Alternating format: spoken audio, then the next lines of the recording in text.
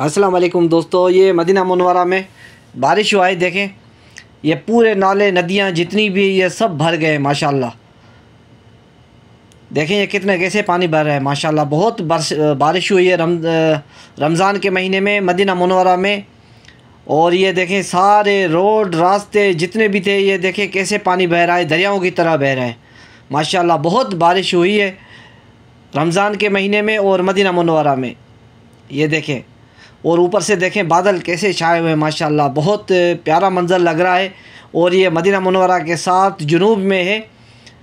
बिल्कुल देखें कैसे बादल छाए हुए हैं, माशाल्लाह। बहुत खूबसूरत मनाजिर है। ये देखें पानी कैसे बह रहा है और ये सड़क के साथ में है, ये साथ में रोड जा रहा है और ये रोड के मनाजिर हैं।